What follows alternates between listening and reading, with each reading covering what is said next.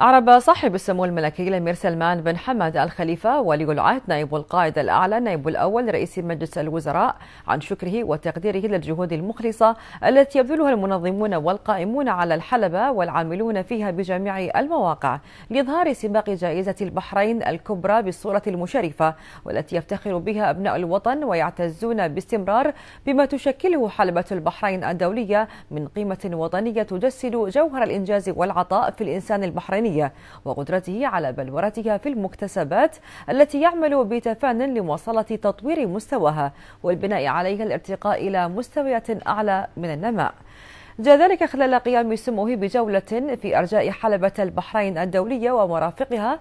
التقى فيها كبار شخصيات الفورمولا واحد والمتسابقين المخضرمين ومدراء الفرق ومتسابقيها والمنظمين وجماهير السباق. وذلك في اليوم الثاني من فعاليات سباق جائزة البحرين الكبرى لطيران الخليج الفورمولا واحد 2016